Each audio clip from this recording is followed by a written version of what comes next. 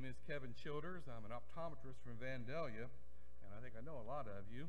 Uh, in fact, I've spoken here before. I spoke, I spoke here in May. You remember that? May 5th to be exact, 2002. And I did such a good job that just 20 years later you invited me back. I am so touched. Thank you so much. So I'm going to plan to be here again in, in the year 2042. Just make sure you've got a wheelchair ramp to come up to the pulpit and make it a little easier for me at that time. Um, let me ask you a question to start off here this morning. What is the only rock that we can eat? The only rock that a human can eat? Nobody? Salt. Salt is the only rock that a human can eat. And I'm going to be using as a text this morning Matthew 5:13 where Jesus tells us that we are the salt of the earth. You know salt is so common, it's so cheap. Every table and every restaurant in the world has salt on it. Every kitchen in the world has salt in it. It's just easy to come about, and yet it's so very vital and essential to human life. You know, there are an estimated 14,000 uses for salt. My, my, my father used to say, take everything with a pinch of salt. Great man, but he made horrible tea. Too salty. Now, chemically, here's what you do, and don't try this at home. You take sodium, which is an unstable metal that can spontaneously burst into flame, and you add to that chlorine, which is a deadly poisonous gas. Put those two things together and you get sodium chloride, common table salt, which is absolutely vital for our existence. Now, unlike in pepper, salt is essential for respiration, for digestion, and each of us needs three to four salt shakers worth of salt in our bodies to survive. We're constantly losing this salt. We've got to replenish it, but we've got to have three to four salt shakers worth in our bodies or we can't live. And we think salt is so cheap, it's so plentiful. We forget how important it is and how throughout all of human history, until about 100 years ago, salt was one of the most sought after commodities in the world. From the start of human history, humans instinctively knew they needed to have salt in their diet. But how did they know? How did they know this? Because you know, when we when we are thirsty, we have this craving for water. We know we need water, but we never feel a craving for salt, even though we have to have it to live. It's a mystery. Salt deficiency causes headaches, then weakness, then nausea, and finally death itself. And yet, at never, no time during this process do we ever feel like, oh, I really need some salt right now. We never have this craving for salt, which is so important. For millennia, in fact, for all of human history, up to about 100 years ago, and into the 20th century, salt was wealth and power. Salt became one of the first commodities of trade between tribes, then cities, then states, and countries.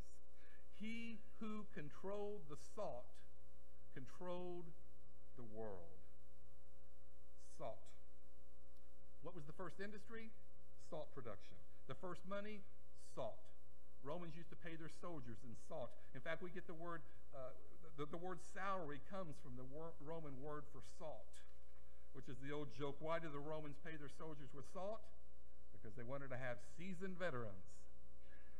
Okay, good. I got to chuckle out of that one. Trade routes were established. Alliances were built. Wars were fought.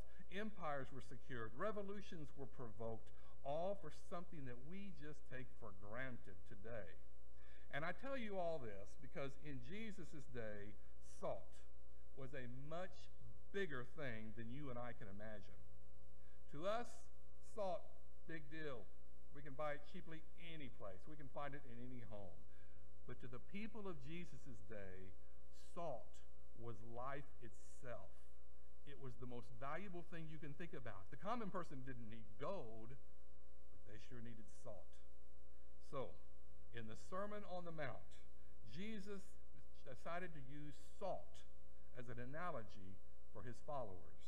And in Matthew 5:13, Jesus says, "You, talking to his disciples now, his followers, you are the salt of the earth. But if salt has lost its taste, how shall its saltiness be restored? It is no longer good for anything except to be thrown out and trampled under other people's feet. Jesus says, You are the salt of the earth. Now, that's a phrase that people today commonly use to describe common, honest, humble people. He's the salt of the earth. He's just a common guy. But the original hearers of Jesus' words didn't hear it that way.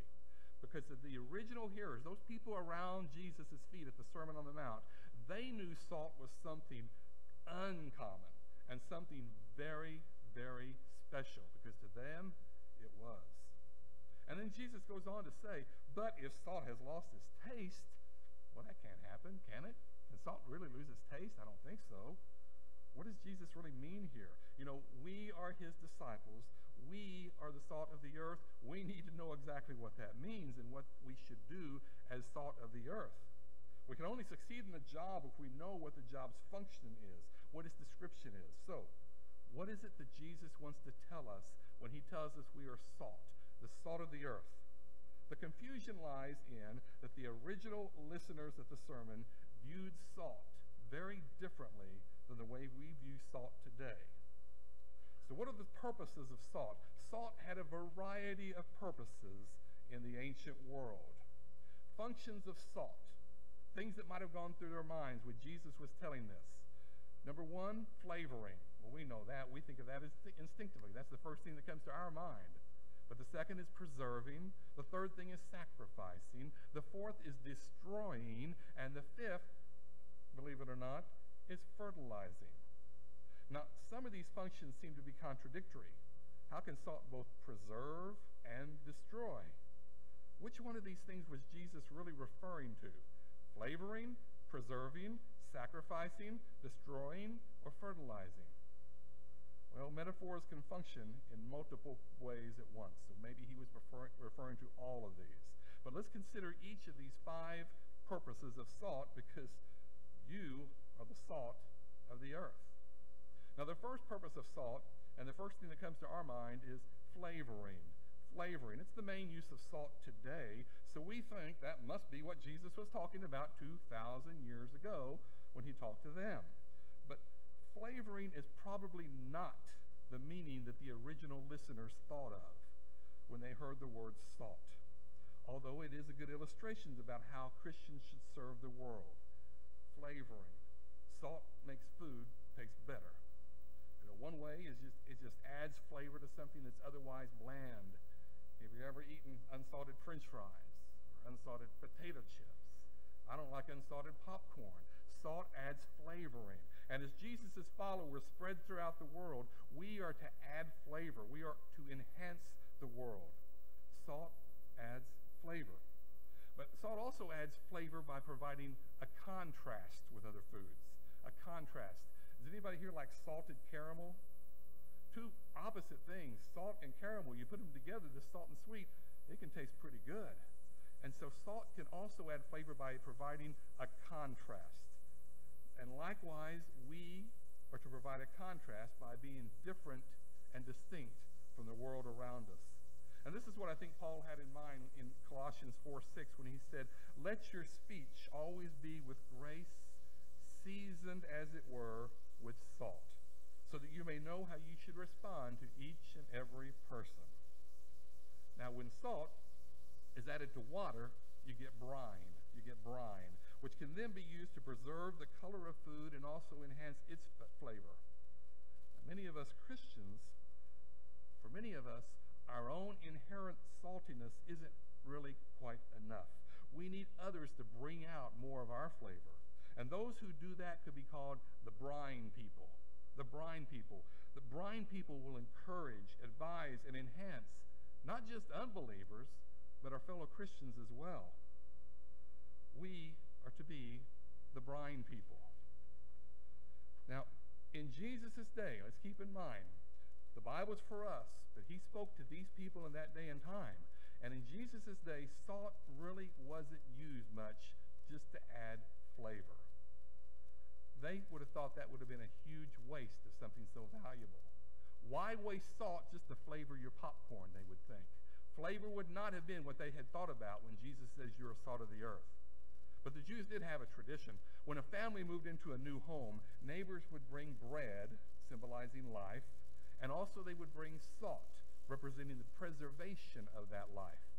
And so the second function of salt after flavoring is preserving. Preserving. Now, how does salt preserve? One way is it sustains life. Remember that? No salt, no life. If we don't have enough salt in our bodies, we will die. A second way it preserves is it prevents decay. You know, the ancient Egyptians, one of the main ingredients in their mummification process? Salt, because it prevents decay. And the third way that salt uh, preserves, it, it preserves food. Now, until modern times and refrigeration, now we're all, none of us are old enough to remember the days before refrigerators, I guess, right? But it wasn't that long before our time there were no, no refrigerators. And in those days, the only way to preserve food was salting it. If you wanted your meat, your fish to last a little bit longer, you got to rub salt on it. Uh, that increases the time the food would remain edible. One last joke attempt here. Mr. Pig went to the doctor. He said, I feel awful. What should I do? The doctor said, Go home, roll around in some salt. I'll check in on you in a week. A week later, the doctor went, Are you better, Mr. Pig? Mr. Pig said, Better. I'm cured. I'll keep my day job, okay. Preserving. How do we apply this to us? You know, disciples of Jesus are sent into the world to keep the world from decay, thus preserving its goodness and preventing the world from being completely corrupted and ruined. And we need to keep this in mind. Salt does add flavor, that first use, but salt also preserves and saves. And we are the salt of the earth. We should preserve and save this world. Now, the next purpose, the third purpose of salt, was very familiar to those people gathered around Jesus when he, he spoke these words, but less familiar to us.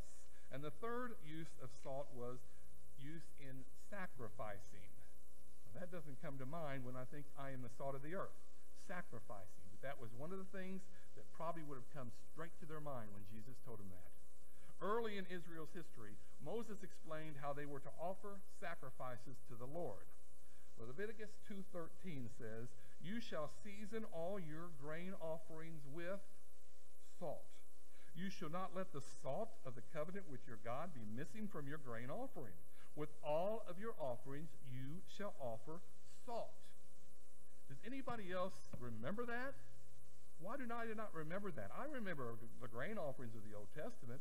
I remember the animal sacrifices. But when you go back and carefully read about these sacrifices, God says don't forget to include salt. How did I forget that? And, and, I think many people, even familiar with the Old Testament, forget how necessary salt was in Israel's sacrifices and how salt represented the very covenant of God with them. In Judaism, salt seals a bargain. Salt is a symbol of the eternal nature of God's covenant with Israel. In the book of Numbers, it says, It is a covenant of salt forever before the Lord. In Chronicles, it's written, The Lord God of Israel gave the kingdom over to David forever by a covenant of salt. Why do I not remember this? The Jews who, the Jews who first heard these words from Jesus, You are the salt of the earth, would have immediately thought about this sacred use of salt in sacrifices. Sacrificing. You know, we, the disciples of Christ, are salt in this sense too. The world is an altar.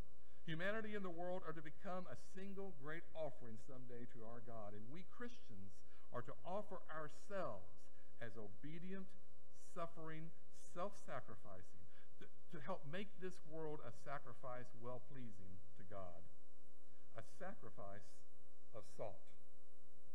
So we've got flavoring, we've got preserving, and we also have sacrificing. And the fourth and next purpose of salt is one that, once again, the original hearers of these words would have thought of right away, we no longer think of with regard to salt, and that is destroying. Destroying. Salt, used as judgment or destruction, has more scriptural references than any of the other purposes of salt. Remember, Jesus was talking about salt in reference to the earth, not to food. He didn't say you are the salt of food. He said you are the salt of the earth. And salting the earth, salting the ground of their enemies was something people used to do after victory in war. It, it, it ruins their enemies' lands. It, it destroys any chance that they can grow more food and rebuild and become a threat to them again. And we see this over and over in the Bible. In this sense, being the salt of the earth isn't a blessing, it's, it's, a, it's, it's destruction. It's destruction, not to flavor.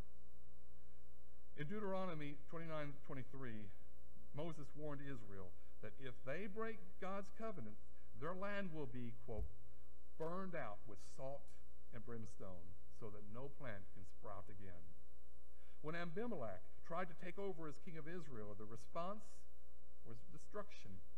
Judges 9 says that he tore down the city and he sold it with salt. The psalmist describes God's coming judgment. In talking about God's coming judgment, in Psalm 107, it says, God will turn a fruitful land into a salty waste because of their evil. Jesus himself described the coming judgment by saying in Mark 9, he says, They will be salted with fire. One of salt's functions is destroying. So, salt, used in this case, was used to express judgment and punishment. So, how does this apply to us if we are the salt of the earth? Well, in one sense, we do serve this same purpose. God scatters salty Christians into the world as a way of judgment, to help destroy wickedness, to help prevent evil from taking root and growing and spreading. The very existence of the church, preaching, living out the gospel, proclaims judgments against the enemies of God and serves what Paul calls in Philippians 1:28 a clear sign to them of their coming destruction. We are to help destroy the growth of evil in this world and the spread of evil. Often, though, the church has failed in this. We Christians have failed to this. We have failed to live as salt in this way. We have often been an accelerator of worldly evil and not as a brake to slow or stop the growth of evil. Salt is to be used to destroy. Now in Luke 17, 32, Jesus refers to the day of his coming. And talking about his coming, he says, Remember Lot's wife. Now, you remember Lot's wife. She was escaping Sodom and Gomorrah. She looked back, turned into a pillar of salt.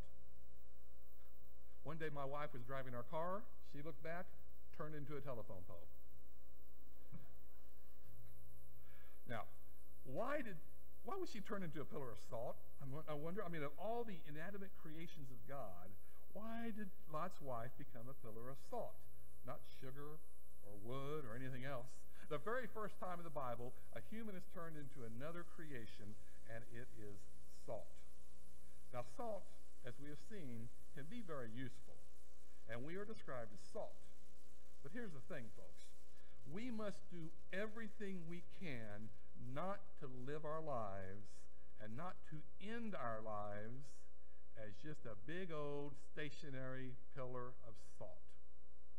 Unused. Unused. Stationary. We are not meant to end our lives as a big old pillar or block of salt. We are to die having emptied all of our saltiness for God and for others. Remember Lot's wife. Let's not end up like Lot's wife. We are salt. Let's not end our lives as a big old block of salt, sitting there useless. Now, since this fourth purpose of salt is to destroy, it seems as if salt would always be bad for agriculture. However, in certain areas, when used correctly, for centuries, salt has been known to have yet another seemingly contradictory purpose, and that is use as a fertilizer. For fertilizing, Used correctly, salt has been used in some areas to help the ground retain water, make fields easier to plow, help release minerals for plants, kill weeds, protect crops from drought, stimulate growth, and increase yields. Now, Jesus specifically describes his people as salt of the earth, which in a rural farming, farming culture such as uh, Israel, that would have been of great significance. How does this apply to us? Because we, as disciples of Christ, are to be fertilizers. We are to be used as salt as fertilizers. We are meant to be in places where conditions are challenging and unique, where life is hard. We are sent to enrich the soil, kill the weeds, protect against disease, stimulate growth, and as we scatter around the world, we should see life spring up in unexpected places. Barren lands can become fruitful. In Isaiah 35 1, it says that when God's people arrive, the wilderness and the dry land shall be glad. The desert shall rejoice and blossom with flowers. We are to be fertilizers. Now in our text, Matthew 5:13, Jesus also said, "But if if salt has lost its taste, it's no longer good for anything except to be thrown out. Now, he said if because I don't think salt can really lose its taste, but is it possible for us to be salt of the earth and yet no longer be useful? To lose the power of our influence? To become, like Lot's wife, just a big old block of salt, doing nothing, wasting our salty opportunities and our purpose in life? Jesus also said, if salt has lost its taste, it shall be sta- uh, trampled under people's feet. Now, Jesus here is talking about how others, how the world would treat such a person. If we fail to use our saltiness, we will be seen by the world as hypocrites and no longer command the respect that our religion deserves. Jesus said such thought, salt will be thrown out and trampled on by men. Not by God. God would never trample on his children, but by others. We, his followers, his children, are and continue to be the salt of the earth. But if we lose our influence, we're just a pillar or block of salt, useless. What can bring us to this place? What can bring us to the place that we can be trampled on by the world, by others? Well, maybe three things that I'll mention quickly here. And the first thing is neglect. Neglect. Paul's advice to Timothy in 1 Timothy 4 is Till I come, give attention to reading, to exhortation, and to doctrine. Do not neglect these gifts that are in you reading, exhortation, and doctrine. To neglect is to a failure to take proper care of something, a failure to pay attention of this unique strength that we have. Each of you has a gift. Each of you is salt. And is, is it to flavor? Is that your gift? To help preserve, maybe sacrifice, destroy, fertilize. You are salt. Don't be a stationary pillar of salt. Do not neglect your use. And another reason we may lose our influence and be trampled on by men after neglect is that we may make comparisons. We may make comparisons with one another. We, we may think, well, we're not as good because we compare our gifts.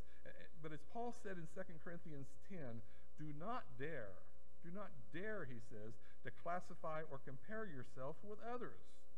This shows ignorance. We are to work within the field of influence that God has assigned to us, a field that reaches to each of you. Paul counted it as ignorance for a man to start measuring his own strength and gifts with another. You are unique. And like salt has a variety of functions, so do each of us. Maybe I flavor, maybe you fertilize. Find your purpose, your, your function. Be faithful to the function and the flavor that God has designed to, assigned to you. And one more reason we may lose the power of salt after neglect and comparison is pride. Pride.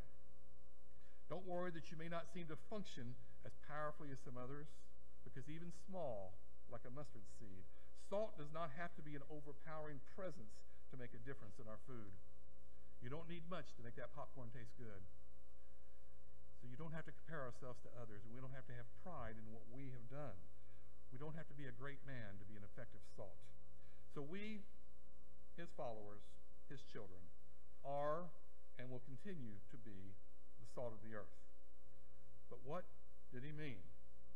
Have you found the exact reason the Creator made you? Did Jesus mean that as salt, you are to be used for flavoring, preserving, sacrificing, destroying, or, or, or, or fertilizing? And the answer is probably yes. Probably each of. But of course, when I tell you something, make sure you take it with a grain of salt. Let us pray. Heavenly Father, we're so thankful uh, for your words that have been preserved for us to this day. And as you spoke these to those men and women 2,000 years ago, we know that they understood certain things from them that we, we may forget or not understand. But let us look, let us think, let us apply this verse to our lives. You have told us that we are the salt of the earth, Lord. Help us to find out what that means and then to carry it out and not to end our lives as a big old block of salt, unused and stationary. In the name of Jesus, the Savior, we pray.